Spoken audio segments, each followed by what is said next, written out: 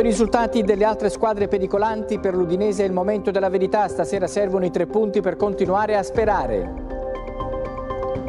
Cannavaro si aggrappa alle motivazioni per pareggiare il divario tecnico e fisico dal Napoli, Lucca, Pereira e Samarzic per provare a far male, in difesa Ferreira favorito su Cabasele. Fin dalla tenera età era appassionato di ciclismo, Stefano Jurig assassinato sabato 4 maggio a Bicinicco, da giovane amava le due ruote, ai nostri microfoni il suo allenatore di San Giovanni al Natisone. Silvia Comelli, la 42enne autoaccusatasi dell'omicidio di Stefano Jurig, non era in possesso di patente auto. I carabinieri indagano per chiarire come è arrivata a Bicinicco. Sabato 4 maggio scattano i controlli in Borgo Stazioni in un locale etnico trovati abituali assuntori di droga, sequestrate dosi dentro e tra i tavoli esterni, sospesa la licenza per 15 giorni.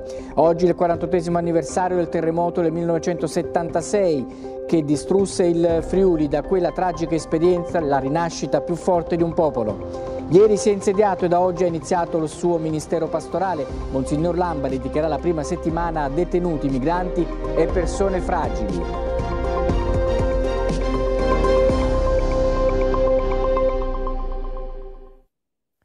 Buonasera e benvenuti all'appuntamento con il telegiornale di Udine su TV12. Oggi è una giornata importante per quanto riguarda l'Udinese. Apriamo infatti con lo sport. Udinese che tra poco affronterà il Napoli al Blue Stadium, una partita dal sapore completamente diverso rispetto a quella che si giocò esattamente un anno fa, quando il Napoli venne qui a vincere il suo terzo scudetto con l'Udinese che era ormai praticamente già, già salva. Questa sera all'Udinese servono i tre punti per continuare a sperare nella rimonta rispetto alle squadre che non sono tanto distanti in avanti, ma in questo momento sono avanti rispetto ai bianconeri in classifica, dunque non è ammesso un passo falso. Ci colleghiamo con Stefano Giovanpietro all'esterno del Blue Energy Stadium anche per provare a capire che atmosfera si respira, Stefano, perché al di là di quello che si poteva immaginare alla vigilia, dove ci si aspettava magari anche un pienone eh, con i tifosi del Napoli presenti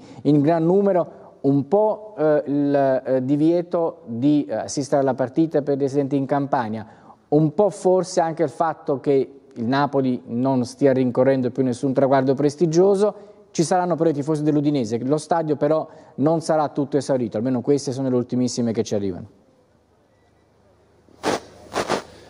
Sì, il dato preciso sapremo darlo, innanzitutto buonasera Francesco a tutti coloro che ci stanno seguendo, lo daremo, eh, saremo capaci di darlo a fine primo tempo quando come di consueto il responsabile della comunicazione Jacopo Romeo ci dirà eh, insomma, quanta è stata per questo Udinese Napoli.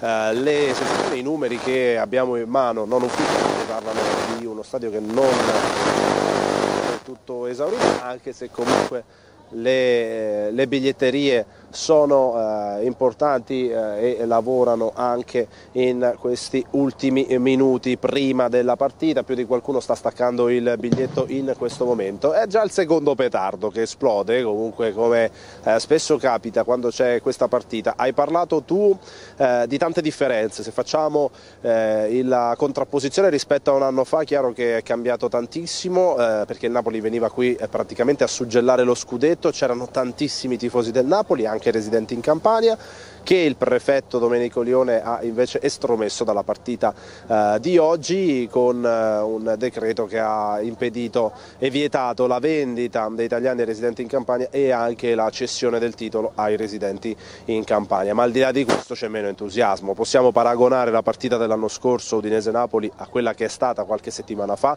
Udinese-Inter perché anche lì c'era una squadra che veleggiava verso lo scudetto. È chiaro che la stagione del Napoli è stata più che storta ma l'andata eh, vuole chiudere chiuderla salvando la faccia, eh, Calzona e la società partenopea, però chiaro, come ha detto Cannavaro, che le motivazioni dell'Udinese sono più alte, oggi la squadra deve farle valere perché il Napoli è superiore in tutto il resto ma non nelle motivazioni, proprio da questa base. Partirà Fabio Cannavaro. Il clima è comunque, vedete alle mie spalle c'è l'ingresso della tribuna nord che alle 19 spaccate ha aperto i cancelli, c'era già qualche eh, tifoso che faceva la fila con qualche cartellone eh, dedicato a singoli giocatori, quelli che vanno per la maggiore sono quelli di richiesta della maglia che spesso vengono accolte dai giocatori bianconeri in campo, speriamo magari in una festa finale. C'è comunque una buona presenza non massiccia di tifosi napoletani con sciarpe, con magliette, vessilli anche del Napoli, ma vediamo anche tanti tifosi dell'Udinese che stanno sopraggiungendo e che comunque continueranno ad arrivare qui al Blue Energy Stadium perché lo abbiamo detto, magari non ci sarà il tutto esaurito, ma ci sarà comunque la cornice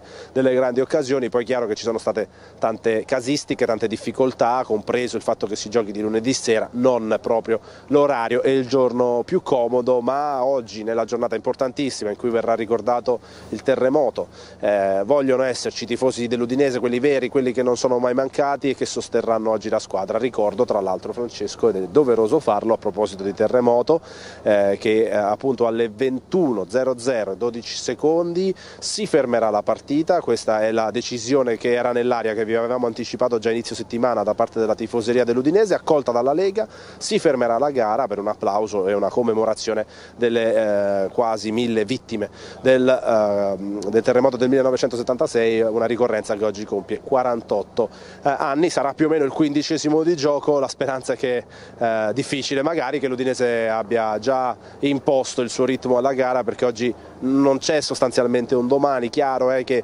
rimarrebbe tutto aperto anche in caso di sconfitta, ma l'Udinese deve vincere per sparigliare le carte, per riprendere quelle squadre davanti che come hai detto tu non sono lontanissime, però stanno lì e quindi al momento sarebbero salve, l'Udinese no, per questo oggi eh, c'è bisogno di ottenere il bottino pieno. Grazie, grazie Stefano per questo collegamento. Dunque, come dicevamo, i vari divieti che il prefetto ha imposto per quanto riguarda i tifosi del Napoli chiaramente tolgono sicuramente una buona fetta di pubblico che questa sera poteva essere sugli spalti, ma eh, ci saranno senz'altro invece i tifosi bianconeri a spingere la squadra. Andiamo avanti e vediamo adesso un eh, servizio sulle ultimissime su questa partita da una parte e dall'altra. Eh, come sappiamo Cannavaro deve rinunciare anche a Perez e Paiero, squalificati entrambi, scelte obbligate per quanto riguarda il centrocampo con Zarraga e eh, la difesa invece presenta un ballottaggio, Cabasera Ferreira con quest'ultimo però favorito. Vediamo. Udinese-Napoli sarà la prima delle quattro finali per la squadra allenata da Fabio Cannavaro, che oggi si troverà di fronte a una delle squadre più importanti del suo passato e dovrà chiedere strada per cercare di ricompattare una classifica sempre più pericolosa. È un Udinese che deve sfruttare le maggiori motivazioni che per ovvi motivi avrà in più del Napoli, che ha come ultimo compito quello di tenere una porticina aperta per l'Europa che conta di meno e per salvare la faccia, dimostrando insomma di essere l'ultima squadra vista in casa contro la Roma e non la brutta copia di Empoli. Proprio quella partita è stata aspramente contestata apprezzata dal pubblico napoletano che vuole vedere una squadra diversa contro un Udinese che rievoca ricordi belli per la vittoria dello scudetto e altri brutti per gli scontri in campo avvenuti poco dopo. Per quanto possano alzarsi le pressioni, alla fine in campo ci vanno i giocatori e saranno loro a dover tirar fuori una buona prestazione. L'Udinese di contro non deve rilassarsi e tenere la soglia d'attenzione altissima perché, come ha avvertito Cannavaro, sarà più difficile che contro il Bologna, nonostante i quasi 15 punti di differenza in classifica. I friulani dovranno ricordarsi della partita di Monza quando il Napoli trasformò un primo tempo orrendo in un pomeriggio paradisiaco con gol di assoluta bellezza di Osimen, Politano, Raspadori e Zielinski. Questi ultimi due non ci saranno e non è un male per l'Udinese che non ci sia l'ex polacco sempre letale contro la sua squadra del passato. Calzona sarà anche orfano di Kvaraschelia, assenza non di poco conto che apre un buco sulla sinistra che sarà riempito. Dangonger per la prima volta usato a sinistra, i tifosi friulani lo ricordano bene nell'ultimo precedente. Suslov che crossa sul secondo palo per il gol Golding Gonge il rovesciato Gol clamoroso di Ngonge. Juan Jesus ha recuperato e quasi scalzato Ostigard per giocare titolare, mentre in mediana spazio ancora a Caiuste. Davanti conteranno tanto le lune di Victor Osimen alle ultime partite da giocatore del Napoli. Pochi dubbi, anzi coperta cortissima per Cannavaro, indeciso solo tra Ferreira e Cabasele in difesa, con il primo favorito per fare duello proprio con Gonge. Davanti ancora Luca, supportato da Samarzic e Pereira, ma con Brenner e Davis scalpitanti per lasciare il segno, come sono andati vicino a farlo a Bologna. D'altro D'altronde l'attacco è l'unico reparto per Cannavaro con tantissime opzioni alternative in panchina. E c'è una salvezza da conquistare, dunque i risultati eh, non sono stati tutti positivi, quelli arrivati dagli altri campi, il gruppone delle squadre è tutto lì, con l'Udinese che è stata raggiunta momentaneamente dal Sassuolo che ha vinto a sorpresa contro l'Inter, ma questa è la fase del campionato in cui le sorprese sono davvero sempre dietro l'angolo e si spera che proprio l'Udinese questa sera possa compiere un'impresa che sarebbe sì una sorpresa anche se la squadra di Canavaro ci ha abituati in questo campionato a vincere contro squadre molto forti, dunque chissà che non si prosegue su questa, su questa strada, ce l'auguriamo, ma intanto facciamo il punto sulla lotta salvezza.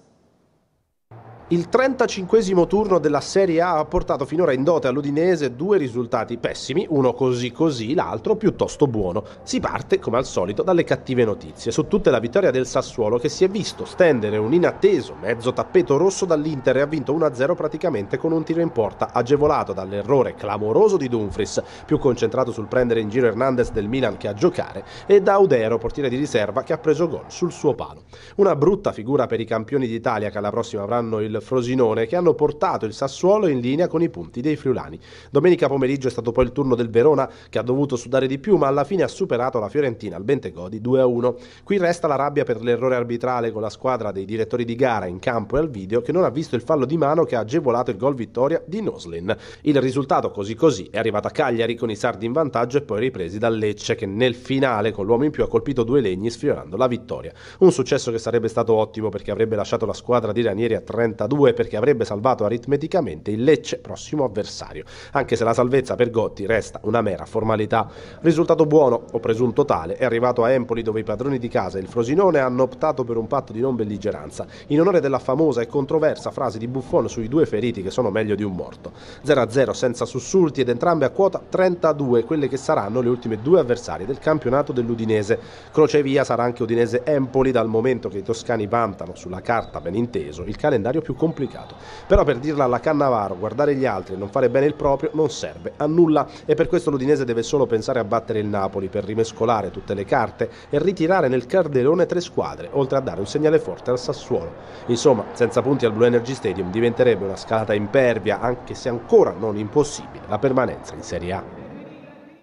E adesso andiamo a vedere un attimo la grafica della giornata perché per quanto riguarda le eh, sorprese, vediamo per esempio tra eh, Salernitana e Atalanta come sta andando 1-0, quindi anche in questo caso si profila una sorpresa anche se siamo soltanto alla eh, conclusione del, del primo tempo con il eh, secondo tempo in, in corso, risultato parziale questo, mentre Udinese e Napoli si giocherà alle 20.45, uno sguardo veloce anche alla classifica dopo 35 giornate con mezza partita da giocare ancora Salerno e una intera qui ad Udine. Come vedete il gruppone delle squadre che lottano per non retrocedere a partire dal Verona a 34 fino al Sassuolo a 29 sono tutte lì. Il Lecce un pochino più staccato anche se non è ancora matematicamente salvo e ricordiamo che sarà il Lecce il prossimo avversario dell'Udinese nella 36esima giornata.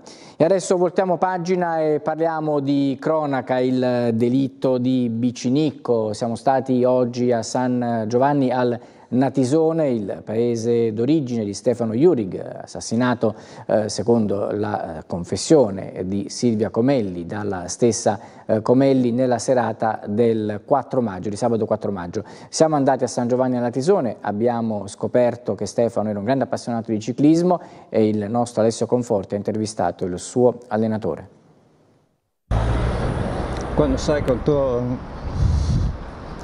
Sì, mi dispiace. Marino Bon, storico allenatore della pedale manzanese, se lo ricorda bene Stefano Jurig. Nei decenni ne ha visti crescere tanti di atleti e tanti ne segue ancora. Era un ragazzo felice, contentissimo, faceva fatica, andava bene, andava male, lui era sempre felice. Trasmetteva anche il suo umore, la sua felicità ai compagni di squadra che magari a volte erano più avveliti che non andava bene la gara, qualcosa, ma lui la prendeva sempre, sempre con, con, entusiasmo e faceva bene quello che faceva. Questa mattina a San Giovanni al Natisone la voglia di parlare era poca, una comunità questa della bassa udinese non abituata a commentare fatti simili. Stefano non si vedeva spesso da queste parti, soprattutto ultimamente, ma il ricordo di quella promessa del ciclismo resta ancora indelebile della parte sportiva da trascinatore vincente di tante gare, ma anche e soprattutto umana. Stefano ha iniziato con me da quando aveva 10 anni, è rimasto alla nostra società fino al secondo anno d'allievo. Quella volta, il secondo anno allievo, è riuscito a vincere un campionato regionale allievi anche.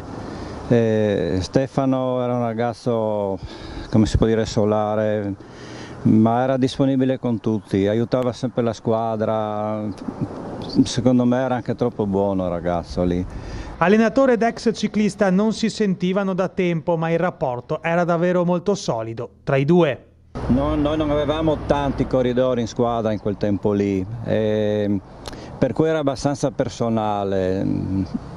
Sì, da noi, almeno nella nostra società, sia io sia lo, mio zio, anche quello che poi anche lo ha seguito tantissimo, che si è sentito fino a pochi mesi fa.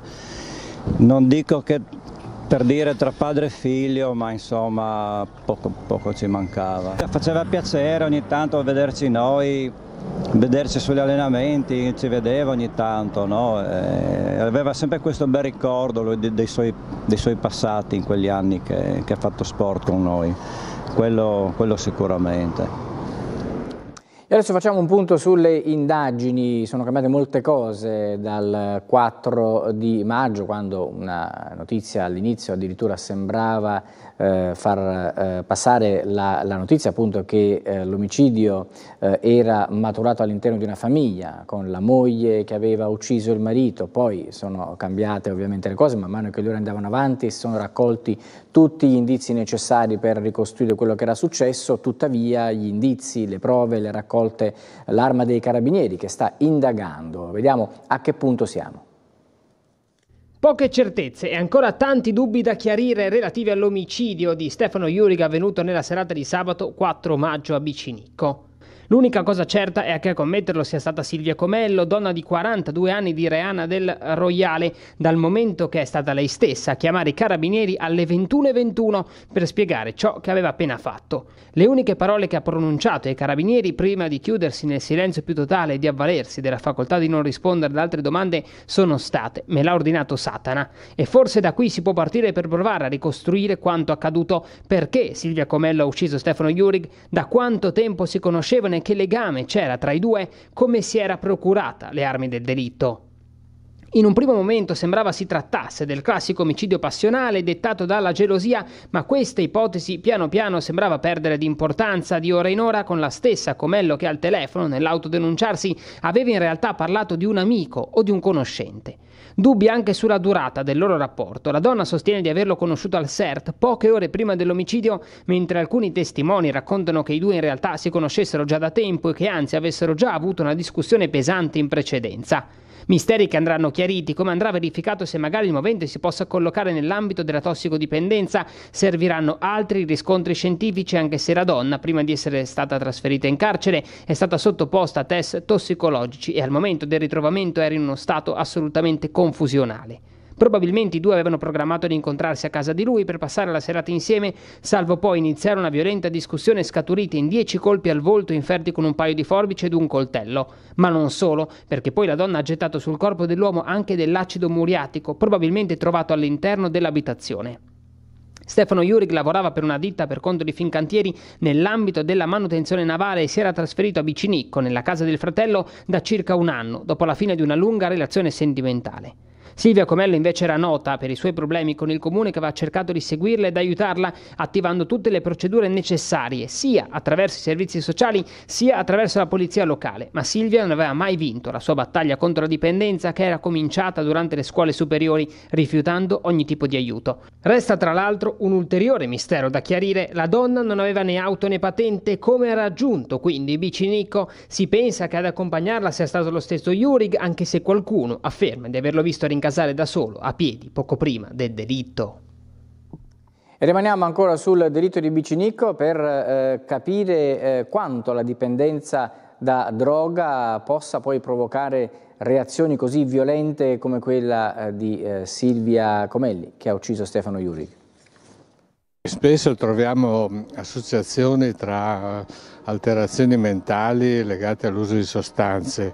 Il disturbo mentale, che alle volte è anche psichiatrico, può essere precedente, concomitante o susseguente all'uso delle sostanze. Le rivelazioni secondo cui Silvia Comelli, 42 anni, rea confessa dell'omicidio di Stefano Jurig, avrebbe detto ai carabinieri di aver ucciso perché Satana le aveva chiesto di farlo, confermano l'instabilità mentale della donna, dovuta alla nota condizione di dipendenza, una condizione che ha scatenato la follia omicida, ma che è difficilmente prevedibile. Non ci sono indicatori precedenti, sono situazioni di noi li chiamiamo discontrollo degli impulsi, una mancanza di controllo sulla propria, eh, sulle proprie azioni, sulla propria aggressività. La tossicodipendenza attiva, magari prolungata per anni, può deteriorare sicuramente aree cerebrali importanti producendo un'alterazione della realtà. Sebbene rimangono ancora oscuri il movente e la dinamica esatta dell'omicidio, il delitto di Stefano Jurig è sicuramente maturato in un contesto in cui vittima e presunta assassina avevano a che fare con problematiche di dipendenza da stupefacenti. Ariana del Royale, Silvia Comelli, era nota per la sua instabilità dovuta alla condizione di tossicodipendente, in cura presso il CERT di Udine e seguita da assistenti sociali, oltre che monitorata da polizia locale e servizi sociali, come ha riferito la vice sindaca reggente del comune Anna Zossi. Andiamo subito a vedere invece ad Udine la sospensione per 15 giorni dell'attività di un locale etnico in via Roma. Droga nel locale tra i tavolini esterni. La polizia sospende per 15 giorni la licenza di un locale di ristorazione etnica in via Roma, cuore del borgo stazione, oggetto di controlli frequenti, considerato un'area a rischio degrado urbano. Il questore ha disposto la chiusura temporanea per motivi di ordine e sicurezza pubblica, proprio in seguito ad uno dei controlli scattati sabato 4 maggio. All'interno del locale gli agenti avevano notato la presenza di clienti già note alle forze di polizia per segnalazioni in materia di droga. Uno straniero, dichiaratosi consumatore abituale, ha mostrato una dose di cocaina che è stata sequestrata. I movimenti di agenti nella zona devono poi aver consigliato altri clienti all'esterno del locale di disfarsi di altro stupefacente e allontanarsi. Tra i tavolini e le sedie esterne sono state trovate alcune dosi di hashish e cocaina. Considerata la presenza di clienti abituali consumatori di droga, il questore ha ritenuto che il locale costituisca un pericolo per l'ordine pubblico, per la sicurezza degli altri clienti e dei passanti in via Roma, molti dei quali sono giovani studenti. Infortunio sul lavoro questa mattina a Sedegliano dove un operaio di Bertiolo, 33 anni, è caduto in un tombino del gas mentre stava eseguendo lo sfalcio di una siepe. È portato in codice giallo in ospedale. Andiamo adesso invece a parlare dell'anniversario del terremoto, 48 anni fa, l'Orcolat. 48 anni sono passati da quel 6 maggio 1976 in cui il Friuli venne devastato dall'Orcolat, il terremoto che danneggiò gravemente oltre 100 paesi nelle province di Udine e Pordenone e provocò in quei giorni 965 vittime, poi salite a quasi 1000 in conseguenza delle scosse di metà settembre. Alle 21.12 secondi la terra cominciò a tremare con epicentro del sisma, con una magnitudo di 6.4 della scala Richter, poco lontano da Gemona del Friuli. Un tremore, un boato, poi pianti, disperazione, edifici crollati, morti e feriti. Le repliche che seguirono, in particolare a metà settembre, aumentarono la devastazione non solo in termini di vite umane, ma anche per il patrimonio edilizio e l'economia. 45 i comuni che vennero rasi al suolo dal terremoto, tra cui Gemona del Friuli, Venzone, Buia, Osoppo, 40 quelli gravemente danneggiati e una cinquantina gli ulteriori comuni in cui i danni furono notevoli. Oltre 100.000 le persone sfollate. Questo lunedì sera, nel Duomo di Gemona del Friuli, sarà celebrata una messa in memoria di tutte le vittime del terremoto. Un'occasione per le autorità presenti di ricordare anche la solidarietà dimostrata a livello nazionale e internazionale nel prestare i primi soccorsi alle aree terremotate e per riportare l'attenzione sulla rinascita, in poco più di 15 anni, delle zone colpite grazie a un approccio alla ricostruzione che è stato denominato Modello Friuli. Un percorso basato sulla corale e compatta mobilitazione del popolo friulano, in testa ai sindaci, la comunità ecclesiale le forze imprenditoriali locali, sotto il coordinamento del commissario straordinario Giuseppe Zamberletti, che alcuni anni dopo il sisma fu nominato ministro per il coordinamento della protezione civile, risorsa che emerse e si strutturò per la prima volta in Italia proprio nel post-terremoto del 1976. L'anniversario sarà ricordato anche nel corso della partita tra Udinese e Napoli. Alle 21 e 12 secondi le due squadre la interromperanno brevemente in segno di rispetto verso le vittime del sisma. Nel pre-gara, inoltre, i bianconeri, a fine riscaldamento, porteranno un mazzo di fiori in curva nord in onore sempre dei morti per il terremoto.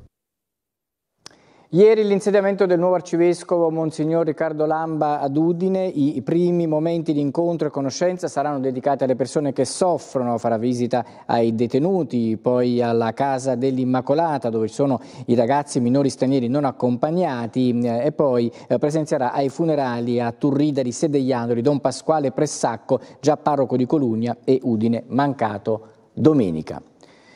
Siamo giunti al termine di questa edizione del nostro telegiornale, grazie per essere stati con noi, buon proseguimento di serata con TV12.